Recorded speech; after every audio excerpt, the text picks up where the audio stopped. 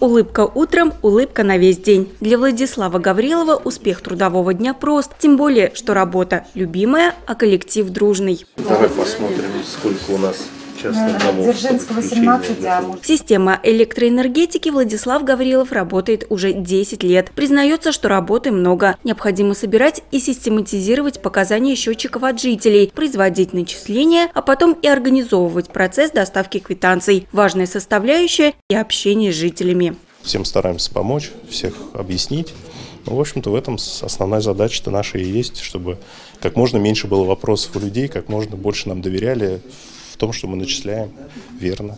По образованию Владислав инженер-электрик. Но прежде чем оказаться в своем уже родном коллективе в Ивантеевских электросетях, успел поработать и менеджером, и даже основать свой бизнес. Здесь начинал работать, что называется, в полях. Знает весь процесс изнутри, но в коллективе любит его не только за это. обладает и исключительными человеческими качествами, его любят все в коллективе. Все мы ценим то, что он работает вместе с нами и гордимся тем, что он является членом нашего коллектива.